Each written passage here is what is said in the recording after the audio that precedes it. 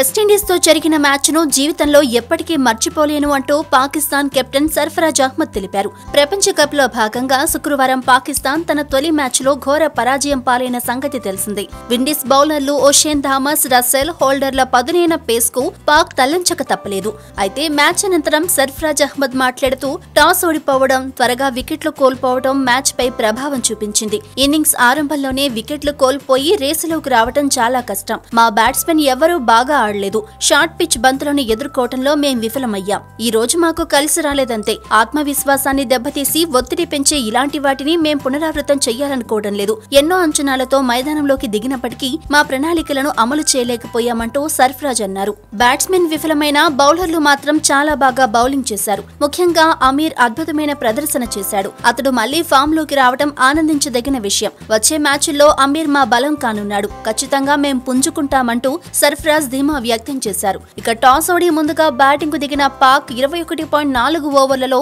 నూట ఐదు పరుగులకి ఆలౌట్ అయింది ఈ మ్యాచ్లో ఫకస్ జమాన్ ఇరవై రెండు పరుగులతో టాప్ స్కోరర్గా నిలిచాడు. ఓషాన్ థామస్ నాలుగు వికెట్లు తీశాడు. అనంతరం విండీస్ పదమూడు పాయింట్ నాలుగు ఓవర్లలో మూడు వికెట్లకు నూట ఎనిమిది పరుగులు చేసి విజయాన్ని అందుకుంది. క్రిస్ గేల్ ముప్పై నాలుగు బంతుల్లో యాభై నాలుగు పరుగులు చేసి ఆరు ఫోర్లు మూడు సిక్సర్లతో అర్ధ సెంచరీతో రాణించాడు. అమీర్కు మూడు వికెట్లు దక్కాయి. మరి ప్రపంచ కప్ ఆరంభ మ్యాచ్లోనే పరాజయం పాలైన పాక్ తర్వాత మ్యాచ్లోనైనా పుంజుకుంటుందో లేదో చూడాలి.